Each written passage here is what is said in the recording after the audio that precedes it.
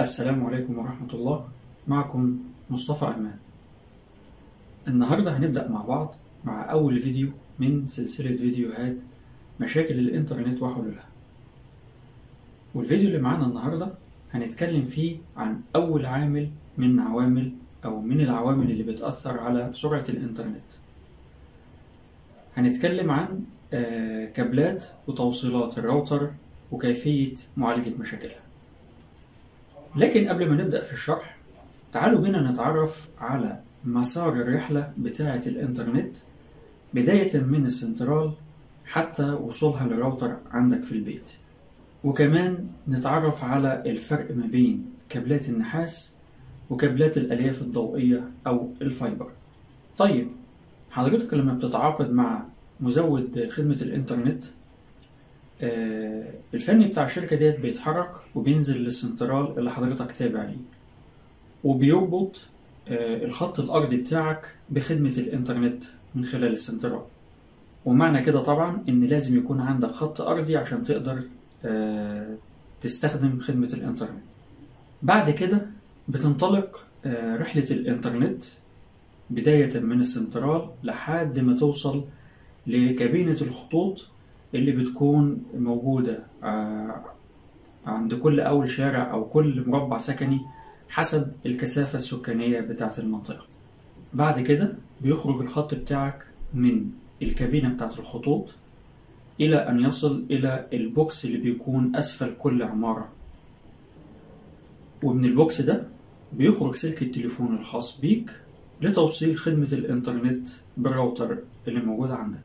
طيب بعد ما عرفنا آه، مسار الرحلة بتاعت خدمة الإنترنت من وقت ما بتخرج من السنترال لحد ما توصل الراوتر عندك عايزين نعرف آه، الوعاء أو الموصل اللي بيوصل لك خدمة الإنترنت لحد الراوتر عندك.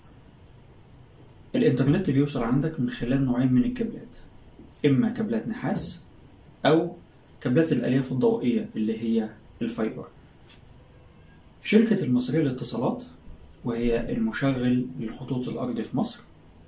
كانت لحد فترة قريبة بتعتمد اعتماد كلي على كابلات النحاس في توصيل خدمة الإنترنت للعملاء بتوعها. ومن فترة قريبة آه، الشركة انتهت من المرحلة الأولى في تحويل البنية التحتية بتاعتها من كابلات نحاس إلى كابلات fiber.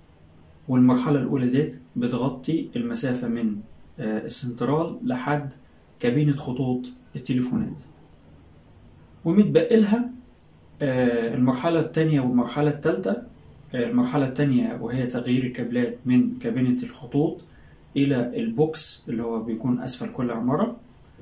والمرحلة التالتة اللي هي من ال box لحد آه، داخل المنزل دي بصراحة مش عارف هل هتكون من مسؤولية شركة المصرية للاتصالات تغييرها ولا هتكون من مسؤولية المستخدم. طيب إحنا كمستخدمين استفدنا إيه من تغيير الكابلات من نحاس ل fiber؟ علشان نعرف إحنا استفدنا إيه آه، من تغيير الكابلات لازم نعرف الفرق ما بين كابلات النحاس وكابلات ال fiber.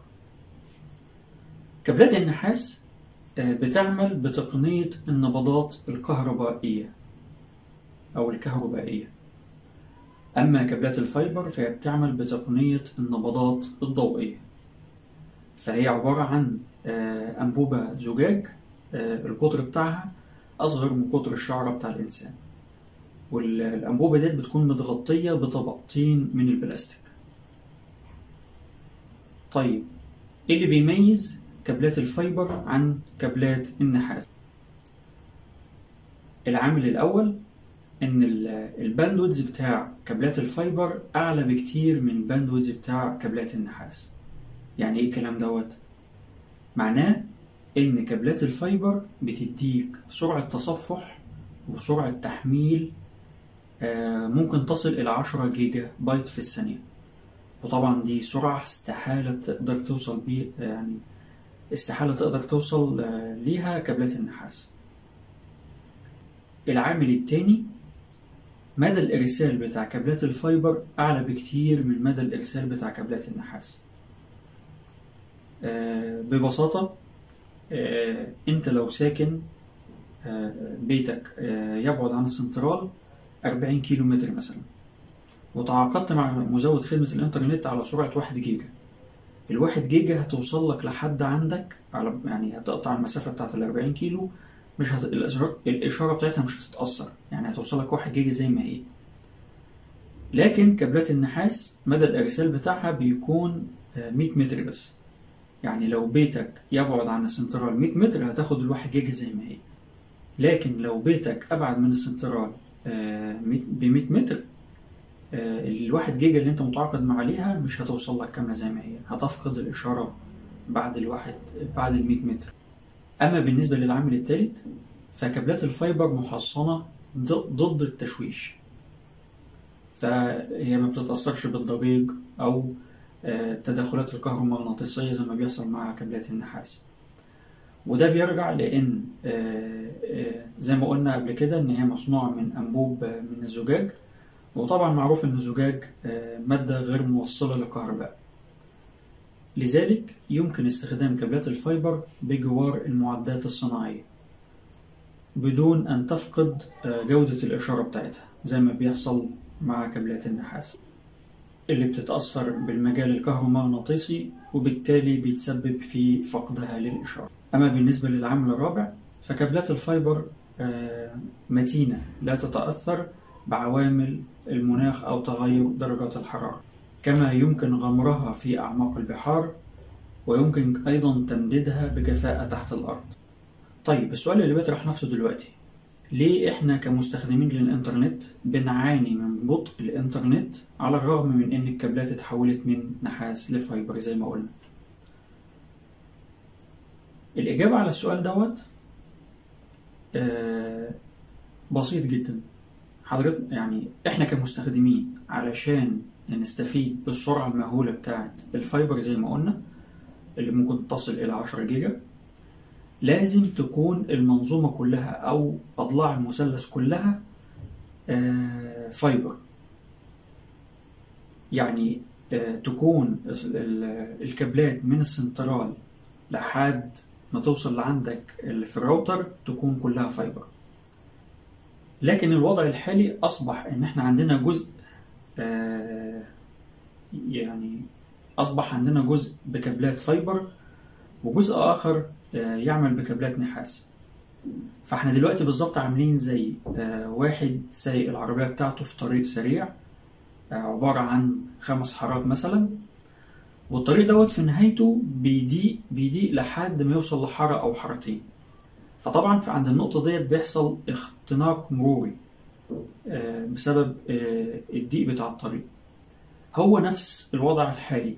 إحنا عندنا جزء شغال ب fiber بسرعة عالية جدا بيصب في جزء شغال بكابلات نحاس آه، المحدودية يعني آه، محدودة في السرعة بتاعتها.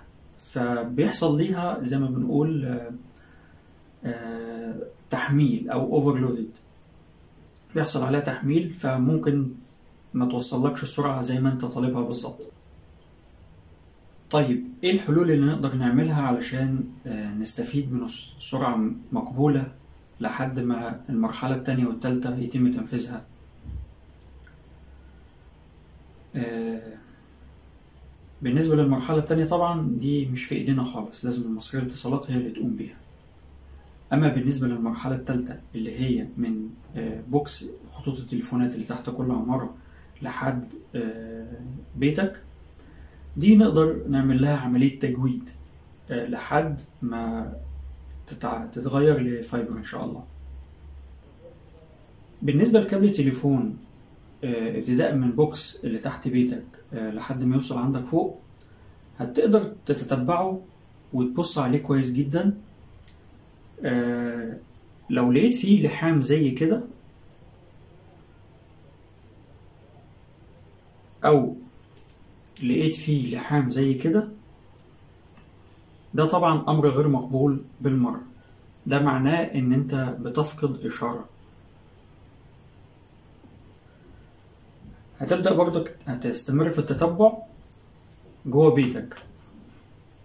بالنسبة لل... لل... لل jack بتاع التليفون اللي بيخش في ال splitter أو بيخش في الراوتر والوصلة بتاعت نهاية خط التليفون ما ينفعش يكون ملحوم بالشكل ده إطلاقا. طيب آه، تحل المشكلتين دول إزاي؟ بالنسبة للمشكلة ديت بكل بساطة هتشتري روزيتا من ديت أو علبة تليفون. آه، تمنها ممكن خمسة جنيه ولا حاجة.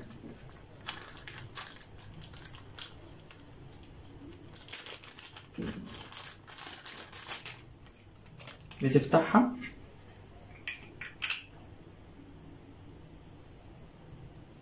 شكلها من جوه.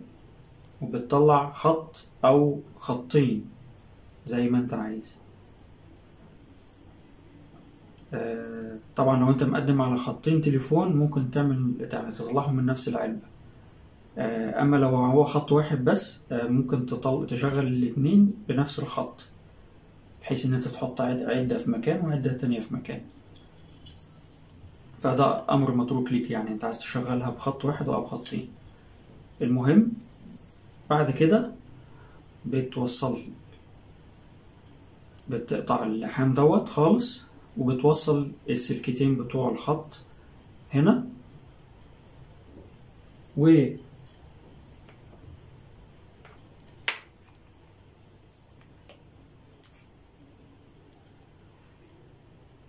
وبتشتري سلك تليفون عادي خالص بتوصله